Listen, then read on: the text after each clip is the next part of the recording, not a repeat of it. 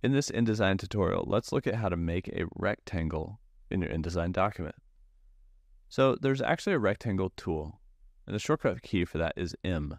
It's over here in your tool panel. We click and hold. You can see rectangle tool, ellipse tool, polygon tool. So with the rectangle tool selected, we can click out here on our canvas to create a rectangle at a specific width and height. Or we just click and drag to draw a rectangle. Now, what this rectangle looks like depends on your fill and your stroke settings. So you see, I created an outlined rectangle. Now I'm going to press the V key to go to my selection tool and then click off that rectangle to deselect it. You can see I just have an outline.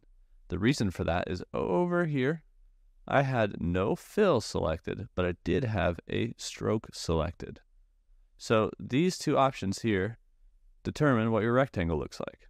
Now, if we select this rectangle by clicking on it, or I like to click and drag and just make sure I get selected exactly what I want. On the right hand side, there's an appearance panel now for this rectangle. We can do a lot of different options. We can fill it with a color. So we can select a color that fills the rectangle. The stroke is around the outside. That was black at one point. I could make this nothing just by clicking on the swatch and clicking none.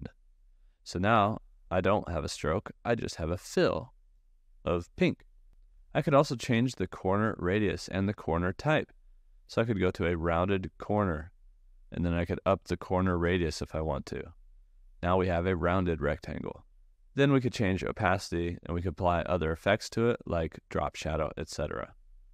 And by the way, before you make a rectangle, when you have that rectangle tool selected, you can make your adjustments here. So maybe I wanted to flip these two, click this double-ended arrow.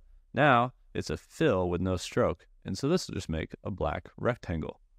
Also, one last tip, if you hold shift while you're creating your rectangle, it'll actually create a perfect square.